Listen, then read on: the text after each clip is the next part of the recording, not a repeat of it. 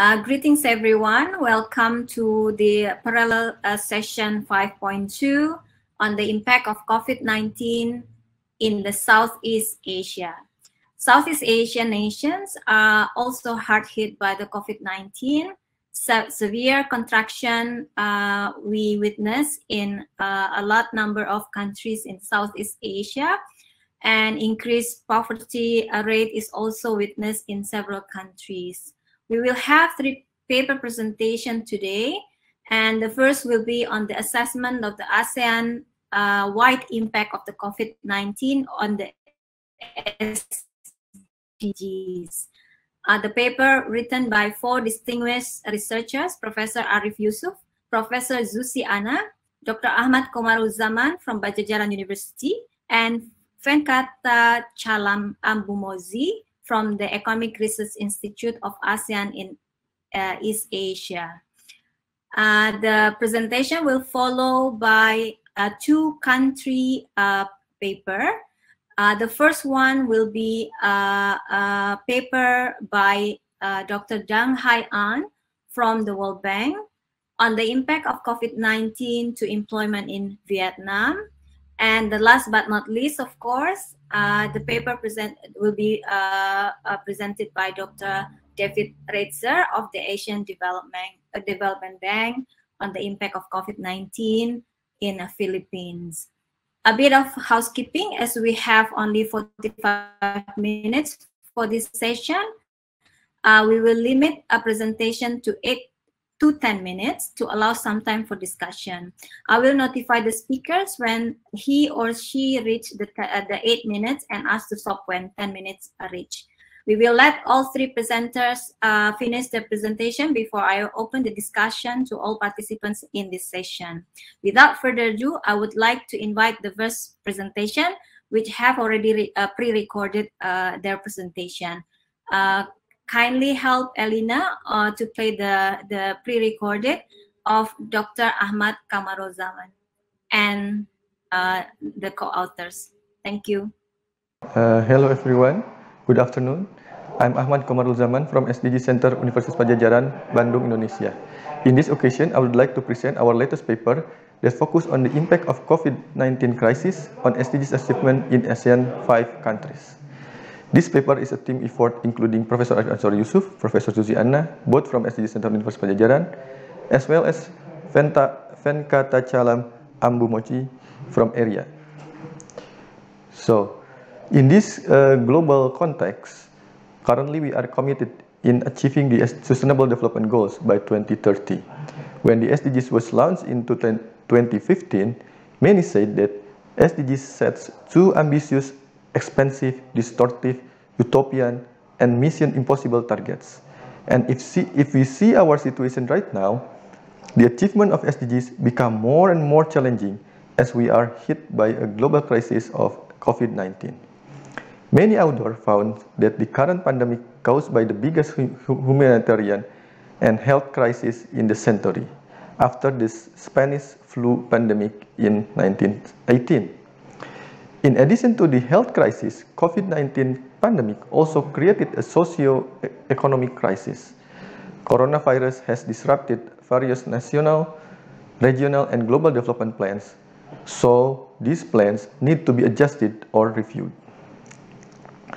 Hence, this presentation tries to find out the extent of COVID-19 will interrupt the SDGs achievement of ASEAN 5 countries. This is important as specific analytical research related to the impact of the COVID pandemic on achieving the SDGs target are still limited. Some existing research focus more on impacts on the macroeconomic or qualitative estimation of socioeconomic impacts based on expert views or qualitative research on one or two economic indicators such as poverty rates and economic growth. On the other hand, among the few, United Nations published a report on the impact of COVID-19 on the SDGs and the global socioeconomy. So, every year or even every semester, many prominent organizations come up with GDP growth projection. This is also what we see here, the World Bank estimation on the impact of the COVID-19 pandemic on the economy of ASEAN 5 countries. It was estimated that Vietnam would not suffer much from the pandemic. Meanwhile, the rest of the ASEAN 5 countries would suffer more. Philippines was estimated to suffer more than the rest of the ASEAN 5 countries. We see that this projection is very important and hence we use the result of this projection into our analysis. Specifically, we link the projection of income per capita that is measured by GNI per capita and we link this with SDGs indicators. As we can see here in the top graph, we start by collecting valuable information on income projection from reputable organizations such as the World Bank that we showed previously. We utilized the long-term projection that was published on the late 2019 before the pandemic hit the global hit globally as without COVID projection. That is the blue dashed line. Next, we compiled the revised projection that was published on 2020 and we name it as the with COVID projection or it's shown as the green solid line. Given this with and without COVID income projection, we'll link them with SDGs indicators following this general formula. Yeah. This formula that the projection, we assume that the projection, the projected achievement of a given SDG indicators in a country is a function of its latest achievement and the marginal effect of income per capita on SDGs indicator. Once we get the projected SDGs indicator, we then, we, we then calculate the gap that is the difference of SDGs achievement in 2030 between with and without COVID. In addition, we calculate the lag that is the number of years that is needed to reach the without COVID level of achievement in 2030. Then, how do we calculate the marginal effect of GNI per capita on SDGs indicators? This marginal effect is calculated from the regression equation we, we did either from linear, fractional regression, or Tobit regression. So it is chosen after following iterative process. The, the selection of this marginal effect is done in a transparent process and maintaining to maintain the replicability. As we can see here, we start with 1,772 indicators that is taken from the UNSTAD. That is go to selection process and at the end, we, as we said before, we run three regression that is linear, Tobit, and fractional regression and choose the one with the minimum RMSE to calculate the elasticity of SDGs indicator to GNI. This is our result our analysis found that the COVID-19 crisis interrupted the majority of SDGs indicators. In total, there are more than 90% of the indicators that are slowing down. Vietnam, to be precise, have the least number of SDGs indicators that are interrupted, but still it counts to 60%. Yeah? Then, analyzing by goal shows that the pandemic affected all SDGs goals and on average, SDGs indicators interrupted by 2.27% below the baseline. Specifically for the first goal, no poverty, we can see here that the disruption is quite large, in which Philippines suffer most. Next, as we can see here, that the disruption caused by COVID-19 pandemic, causing a setback of 1.57 years on average. Among others, the setback on goals 1 is relatively lower than, the, than on the other goals. Furthermore, we take the advantage of our methodology that allow us to have a more detailed analysis at indicator level. As we can see here that the SDGs 1 is composed by both the monetary and non-monetary dimension of poverty that includes the coverage of social and health protections, drinking water, and sanitation. Some highlights on the analysis among SDGs 1 indicators are as follows. On average, among ASEAN 5 countries, the effect on poverty are different over the poverty dimension. Extreme poverty setback between 0 to 2 years and the setback is even larger among em employed population. Interestingly, the effect on non-headcount indicators are much worse, such as social protection, as well as drinking water and sanitation for the poor. Again, Philippines is the worst affected while Vietnam is the least. To conclude, our analysis shows that the COVID-19 crisis has interrupted almost all SDGs indicators of ASEAN countries, particularly on SDGs 1. On average, SDGs indicator in 2030 will be around 2.3% lower than the baseline or 1.6 years lag. Vary by indicators, extreme poverty set back by 0 to 2 years, while non-headcount indicators is even longer. It also varies across countries. Philippines is the worst affected while Vietnam is the least. Several factors count, initial condition, both SDGs and vulnerability to SDGs 19, impact on uh, of COVID-19 on growth, projected recoveries. Hence, we should uh, focus on the recovery policies and assistance in each SDGs indicators should be proportional to the impact. This is uh, the end of our presentation. Thank you very much. Thank you very much, uh, Ahmad. That's very um, important um, study of the setback of the SD, SDG uh, achievement uh, uh, due to COVID-19. Um, I invite the participants to collect their uh, question and post it in Q&A. But uh, before you can post your questions to the uh, speakers, let me invite the presentation of Hai Anh Dang. I would like to present uh, our work on the impacts of the COVID-19 pandemic on the labor market outcomes in Vietnam. And this is joint work with uh, my colleagues Zero Calito the World Bank and Cường Nguyen at um, Vietnam National Universities. Uh, as you know, um, uh, last year and also currently in many developing countries around the world. Uh, without full vaccinations, uh, developing countries had to rely on lockdown uh, measures to slow down infection and to prevent death rate uh, caused by the pandemic. And, and all the lockdown measures have a negative impact on the labor markets. Uh, and there is a growing body of literature for richer countries uh, but uh, currently, there are very, very few studies uh, in the developing country context that analyze large scale and nationally representative data. Um, given the few existing study, we know that the, the, the pandemic induced lockdowns generally have negative impacts on the labor markets. Uh, for example, a recent uh, multi-country studies uh, looking at 39 countries around the world uh, by Khamis et al. Uh, found that 30% of the survey respondents uh, reporting stopping work and 20% of wage workers reporting lack of payment for the work. And women have higher unemployment than men. Uh, that is what a recent study found for India.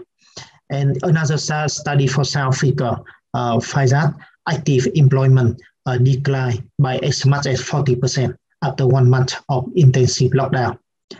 Uh, so we contribute to the literature uh, with new analysis on rich and large-scale uh, labor force survey data for Vietnam uh, over, the, over the past few years. And we analyze a wide range of employment, employment indicators and Vietnam offers an interesting case study. Uh, despite being a low middle income country, uh, Vietnam has been quite successful uh, in fighting uh, the pandemics.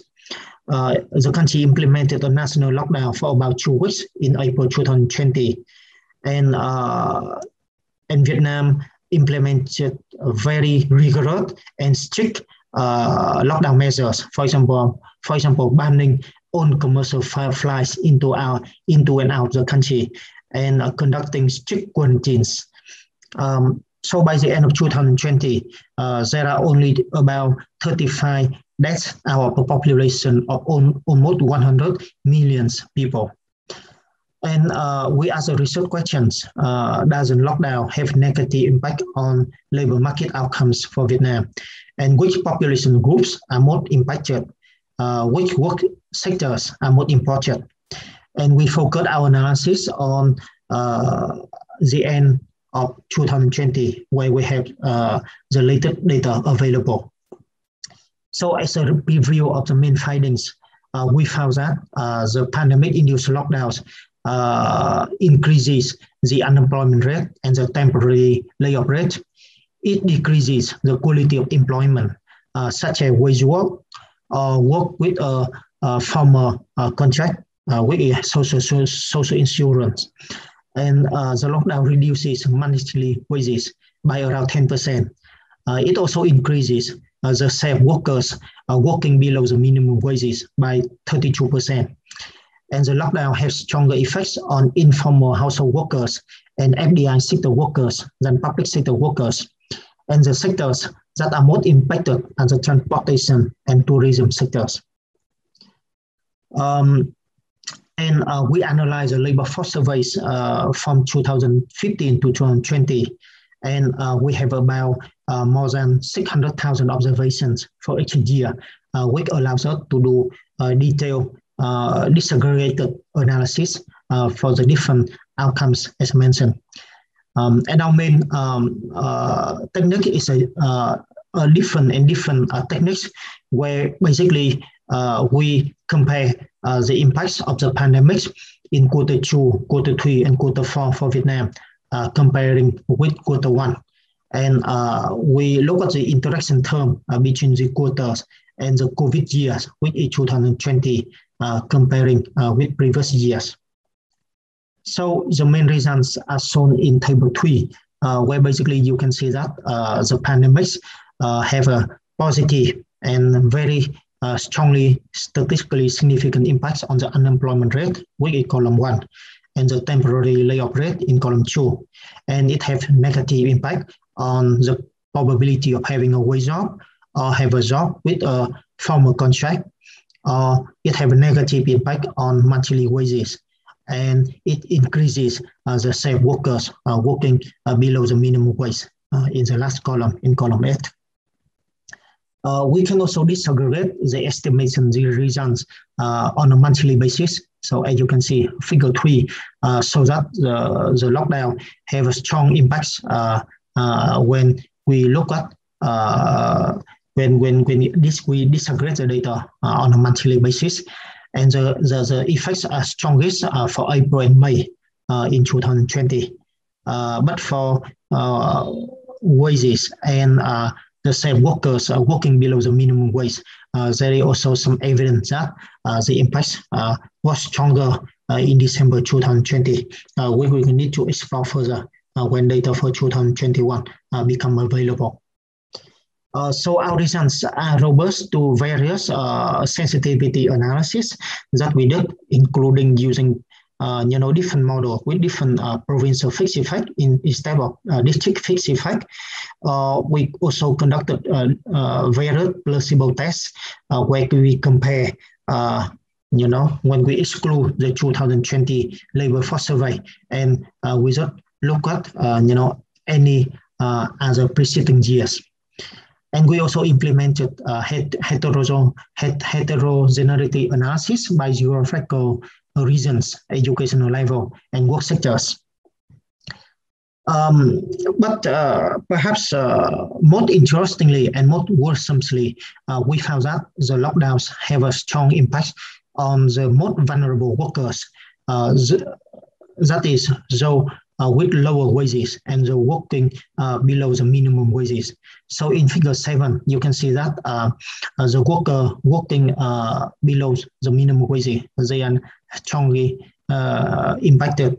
And if you look at the bottom graph, you, about the bottom of the graph, you can see that the poorest worker, are so in quintile Y, quintile one, the poorest quintiles, they are more affected compared to workers uh, Uh, in the other quintiles.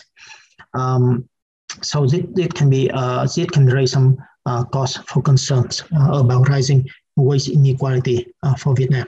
And we also look at the data for the whole country, and we found that the lockdown did, in, did increase wage inequality, you know, for the whole data set. Yes.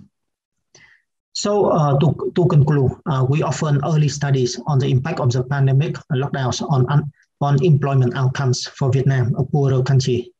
And we analyze a wide range of employment indicators uh, from several rounds of Vietnam labor force surveys, uh, which are not available in existing studies. Uh, we find that the lockdowns uh, increases the unemployment rate and the temporary layoff rate. It decreases the quality of employment by around 10% and it increases the same workers uh, working below the minimum wages uh, by as much as 32%. Yeah, thank you. Uh, thank you. Uh, hi, Anda. Uh, just one moment so that I, I, share this with the microphone. Okay. Um, so I would like to uh, basically uh, begin by saying that um, this uh, presentation was motivated by the context of, of the Philippines, the, the country where uh, we as ADB uh, employees are, are based, our headquarters.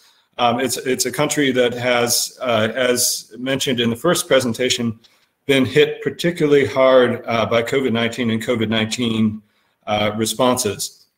It's a, it's a country where there's been a lot of progress historically on equity, particularly gender equity, um, and uh, the, the question is to see how the very strong COVID control policies that have been put into place in the Philippines uh, has has affected that that progress. Uh, the Philippines uh, both has um, in 2020 was one of the most affected countries in terms of COVID burden, uh, but it also was uh, among the countries in the world with the most stringent lockdowns for the most protracted period. And schools have remained completely closed uh, nationally in the Philippines since the beginning of the pandemic, since March 2020. There has not been a day in a classroom for any uh, students in the public school system. So it's, it's a country where there have been very uh, sharp responses to COVID. There were extensive lockdown measures for much of 2020, uh, very strong restrictions on, on businesses, employment, and mobility. And, and so the question is, how does that affect uh, the progress the country has made? Uh, what we took as an approach uh, is a simulation approach. Uh, we didn't have high quality enough uh, recent data uh, to be able to do an empirical approach as we saw for Vietnam. so instead, we, we, we took a, a somewhat unique kind of simulation approach where we tried to really look at what sectors are affected by uh, the different policies in place as well as precautionary behavior by consumers? And how does that affect uh, demand for, for, for labor? And how does that filter in uh, to, to income? And how does that affect poverty? Um, so for, for the demand side uh, we want to capture the effects of precautionary behavior by consumers. Um, so what we did is is we used uh, some existing expert opinion based estimates of effects on demand by sector of a global respiratory disease pandemic that had been prepared actually for the US government. Uh, and we mapped out the sectors of uh, the Philippine economic structure to those of uh, the, the analysis in which they reported by individual, quite detailed sector, what the expected effects would be on uh, consumer behavior uh, from the presence of a pandemic and uh, behaviors being more cautious uh, behavior becoming more cautious. We then uh, used a production function approach uh, to translate these changes in demand uh, for output from each of these uh, subsectors in each region of the Philippines into uh, a change for in labor demand. So that is to capture just the inherent response to a pandemic, how consumers behave, how that changes demand for output from particular sectors of the economy, how that changes then demand for labor. Uh, then we wanted to bring in the effects of lockdown measures, restrictions on workers being able to work in particular sectors of the Philippines. Uh, in, in the Philippines, uh, there have been a series of different lockdown intensities. Under each of these intensities, uh, specific restrictions have been announced on the share of workers who can work on site. Uh, and this has been done by region per lockdown period by uh, sector mapping out to the Philippine statistical systems uh, two digit sectors of the economy. So we could use this as basically a shock uh, to uh, the labor supply that can go into a production function. Um, and so from that, we could get uh, effects on, on value added. And we also have the direct effect, of course, on whether labor can go into um, value added and producing producing output. Um, so we did this for each lockdown period in each region um, and each uh, subsector. And we also assumed that some work from home activity could continue, but it would be somewhat limited uh, due to uh, uh, feasibility and, and uh, of having work from home. We brought it together by trying to take either the larger uh, decline of either the supply or the demand shock, which may be an underestimate. In many cases, they could be additive effects, but we consider them as substitutive to be uh, conservative. Um, and then we, we translated this basically into income effects, um, also considering uh, own account income versus whether uh, workers are employees in each sector uh, in each region. Uh, then we, by getting an income effect, we could recompute household income uh, using the income and expenditure survey microdata, and then we could get a new profile. Um, and basically, this is analysis that's based on which sectors are restricted, which geographies are restricted. It does not, it has a number of limitations. It doesn't capture whether individuals themselves would be the most likely to get fired in a sector. Uh, it's really based on the, the sort of bias of which sectors are restricted and which regions are restricted uh, by policy. Um, and uh, we, we don't try to capture the effects of uh, fiscal support um, and we do recognize, of course, the demand reductions by sector are drawn from a USA context, but uh, we're adapting that to the structure of the Philippine economy. Uh, we find a value added reduction of 13.5% versus uh, a baseline, uh, slightly less than the actual decline compared to projections, which was 15.5%, but we think it's very plausible and it makes sense. We're omitting some channels of effects, such as through remittances. Um, we uh, find a greater reduction in labor demand than the, the decline in GDP and value added. We find uh, a higher uh, degree of household income loss than the reduction in labor demand. And we find that most effect, both effects uh, actually affect women more than men due to the nature of which sectors uh, have been impacted and which geographies have been impacted. Um, we we uh, also find, uh, interestingly, as a shock, that there are higher effects on urban poverty than rural poverty. Uh, we find higher effects on female than male-headed households. Uh, that effect is particularly in rural areas. Um, and then we find that also there were big shocks that would have happened even without containment policies, uh, but containment policies have uh, made the shocks much, much bigger. Uh, and they've also amplified the, the gender disparity in terms of the, the effects of having the COVID uh, pandemic. So uh, overall, uh, what we find uh, are really uh, severe poverty and gender implications of COVID-19 and COVID-19 responses. we find that the policy responses have really amplified implications for, for poverty and, and for, for, for female workers, female-headed households. Uh, these um, results I shared right here, uh, they emit many other important channels, uh, and so they're they're underestimates. They don't capture the full set of of, of effects. Um, an incredibly important set of effects occurs via school closure and human capital in the future uh, productive capacity of the country that we're not trying to capture. These are only losses in 2020 that I presented. Um, and uh, we would expect the, these, uh, for example, school closure effects, they would also very much uh, affect the poorest households the most as they have the least ability to cope with uh, the kind of distance education arrangements that exist. Um, to end these kinds of costs, of course, rapid uh, vaccination uh, becomes incredibly important.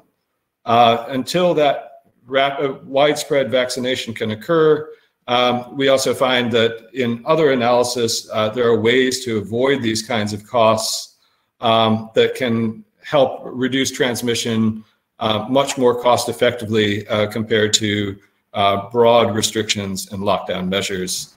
And uh, they can be better help to preserve uh, progress on, on gender equity and on poverty. Um, Two more so, minutes, David.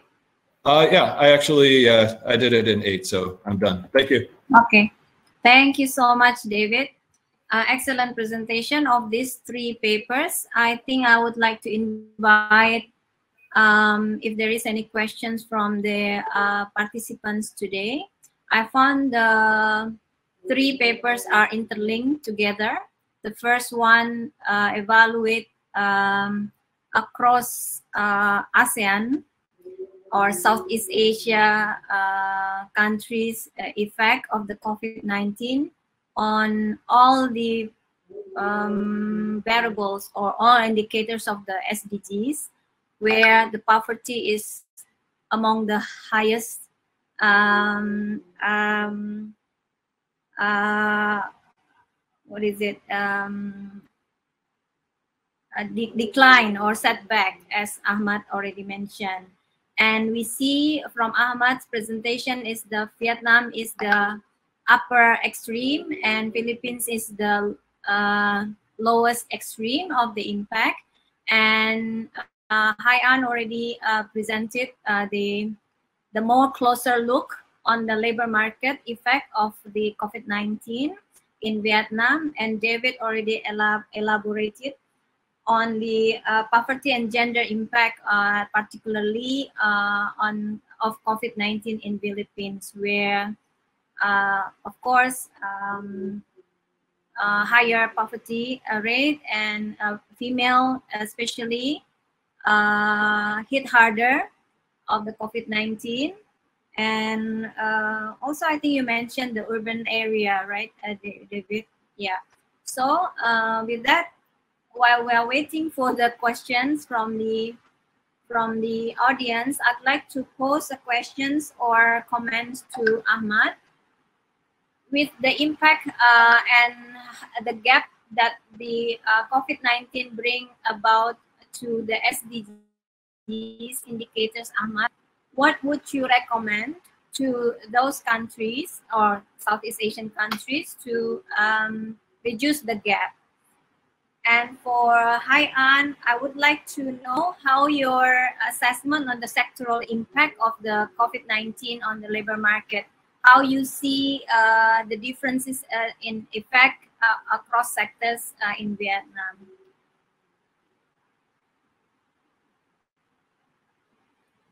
Um, and for um, for David, I would like to know um, whether uh, can you elaborate more on the um, the the interventions that the government uh, provided? Does it ad address the most hit segments of the population or the economy? So those three uh, thank you so much for the excellent presentation. Can I invite Ahmad first and Hai Anh and then David? Okay, thank you very much, uh, Ibu Titik Anas. So about the uh, policy recommendation, uh, in this paper we didn't specify very uh, yeah, detail about uh, how to uh, to formulate. Sorry, the... uh, hello. Can you hear hello, me? Hello, Yeah. Hello. Can you hello? hear me now? Can you hear me? Yes, I can hear you. But hello. Yes, we can hear Ahmad. Okay. Yes. Ahmad. Okay. You yeah. want okay. to respond? And we yeah. also have one uh, question from Andy uh, in the chat room. How do each of the panelists see the next five years for poverty trends level with or without 100% vaccination level? Assuming reasonable efficacy, no new variants that avoid vaccination, and presumably no vaccination programs. So that's okay, yeah. all. Okay. Please, uh, the screen are yours. Okay, thank you. So uh, regarding the policy recommendation, uh, in this Ahmad? paper we didn't Are you can you respond first? Yeah, I, I I respond here. Hello, can you hear me? Hello? Okay, yeah. Yes, we can hear Uh, you. Thank you. Okay, I, I, I'll, I'll move forward. So, uh, but uh, uh, if we think that uh, we should focus on the Elina, can you hear Ahmad? Yes, I can hear him.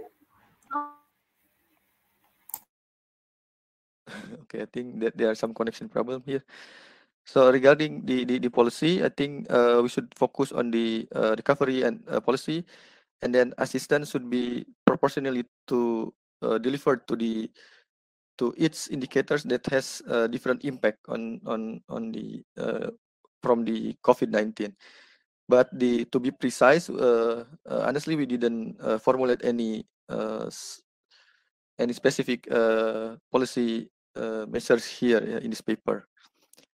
So it's on only a gen general idea that because we we analyze uh, almost all of the SDGs indicators from all the countries, and then uh, hence we we didn't focus on the uh, specific policy recommendation regarding the uh, question from uh, Andy Sumner. In the next five years, for the poverty trends, Oh, with and without uh, 100% vaccination level. I think with the vaccination level, with 100% vaccination level, I think the the based on our, I mean, if we see from our analysis, yeah, even though it, it, it didn't say about uh, something about the vaccination, but I think uh, the vaccination could uh, um, what is the name? Could fasten the the the the uh, the crisis yeah to be end to be ended so the people can go out again yeah can do the the new normal things yeah hence the the economy can uh, roll uh, faster than than currently uh, that that is happening currently and then uh, at the end i think the poverty could be uh, lower yeah than the, the current position Thank you.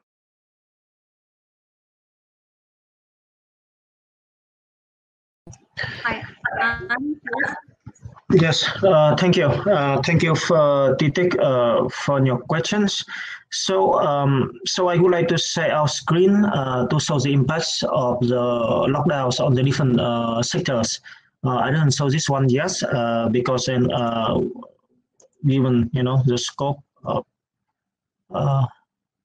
yes uh, time but but here uh, let me show this one um, okay yes so yes so if you see this one then uh, basically as you can see um, we uh, we look uh, we did uh, disaggregate the estimation results for the different sectors. And you can see from the top of the graph that the workers working in the foreign direct investment sector or in the private sector or in the informal, you know, like a household sectors, uh, they are more strongly affected uh, compared to workers in the public sectors. Yes, so we do see some uh, impacts by the different sectors. And, um, and also interestingly, uh, if you look at the bottom of the graph, then you can see that uh, there are some uh, other sectors, for example, transportation, hotel and restaurants, uh, that are more affected uh, by the lockdown. Uh, and and the reasons uh, I believe you know are also quite consistent uh, what we with what we usually uh, see in the media, right? I mean about airline industry or you know the tourism industry, you know like suffering, you know, more losses because of the pandemic lockdown measures in Vietnam and also elsewhere for other different countries.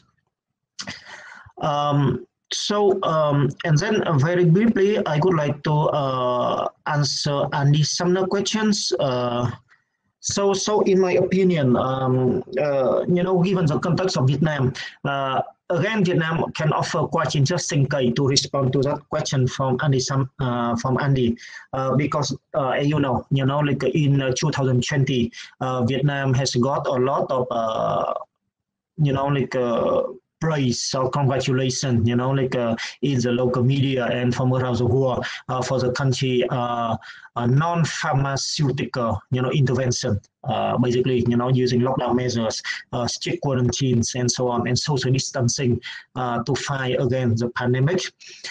But now coming to the to April and uh, May in 2021 this year, then uh, given you know given the uh, uh, the event of the new Delta variant, then you know all the non-pharmaceutical you know interventions uh, turn out, I mean, not to be as effect, effective as last year. So, so currently, you know, at the at the moment that we are that I'm talking right now, uh, a few, you know, like uh, most of the major cities in Vietnam are under lockdown again uh, because of, you know, because of the uh, new Delta variant. So, so indeed, and also at the same time, uh, the vaccination rate for Vietnam is still uh, pretty low, you know, compared to other countries uh, in the region. So, so definitely, I think that you know, vaccination is very important for the country. Uh, but not only vaccination, but also vaccination in combination uh, with all the traditional, you know, non-pharmaceutical uh, interventions, you know, uh, can, you know, can uh, hopefully can have the country recover, you know, from, from the pandemic. Yeah, thank you. Thank you, David. Um, okay, thank you for, for some excellent questions um, and, and some quite complex questions.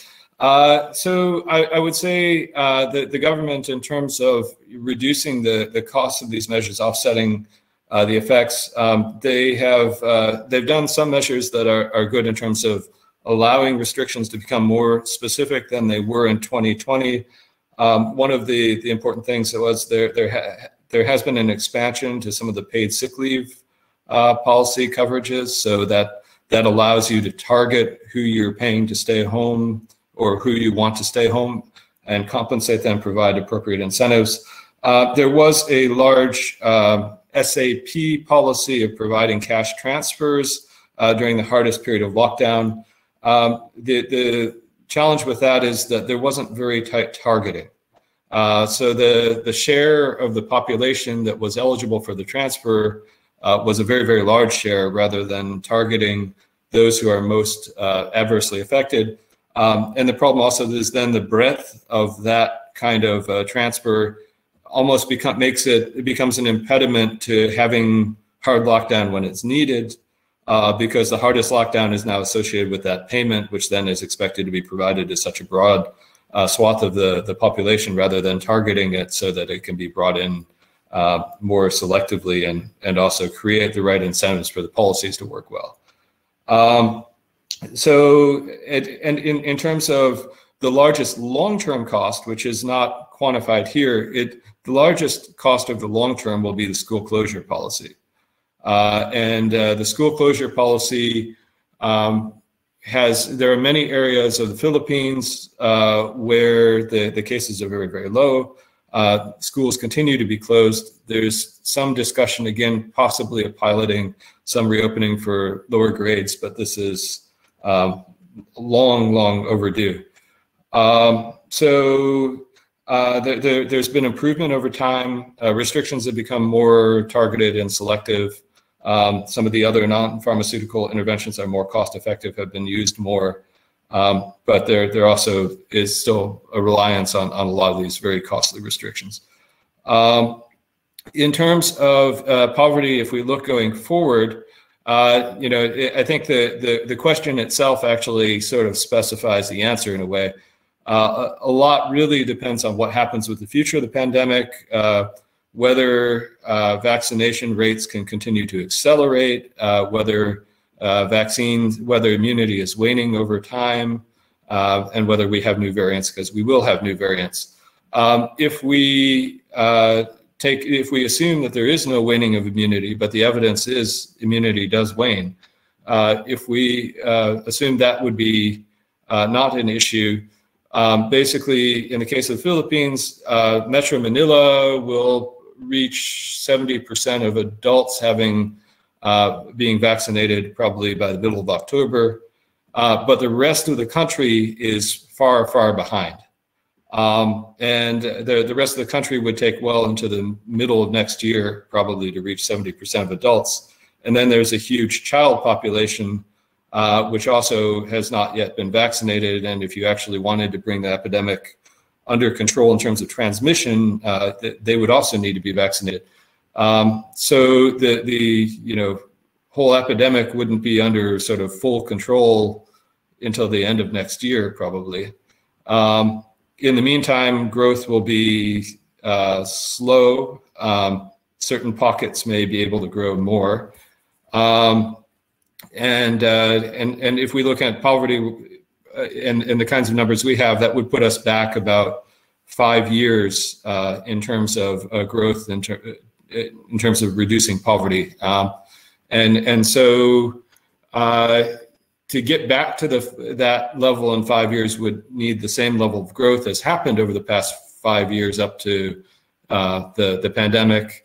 Um, you know whether that's possible in the near term is is is a question, given that it will be this uh, continued situation of some some COVID. So uh, it it may be more than another five years to get back uh, to the sort of pre uh, COVID levels. And then that's not taking into account the long-term effect of school closure and how that affects uh, the future productivity of the country, um, the ability of students to the, this massive young share of the population to effectively enter the workforce and become productive. Uh, so that may also diminish the growth potential as well. So uh, it could be quite long. Yeah, I think that ends our uh, session. Uh, we overrun by two minutes. Uh, let me thank the, the, the all the distinguished uh, speakers for the excellent papers and see you in the uh, uh, next uh, session. Bye for now. Thank you so much. Thank you, Elena, for the help. Yeah. Thank you, Tite. Thank you, Elena, David, and Amma, and everyone. Yeah. Thank you. Thank you. Thank you, everyone.